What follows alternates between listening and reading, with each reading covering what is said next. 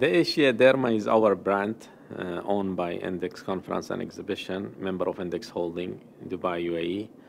As you know, the Index is an international uh, company. We do the many exhibitions. So based on the research market more than five years by Index Holding, the research department, so we decided to have our own branch office in Singapore to cover the China and this part of the world.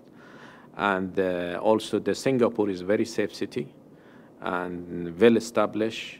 Everything is smoothly to open the office. It was, I think we opened our office within uh, 24 hours and with all support and selecting the Suntec to be the main uh, our office here in the Asia.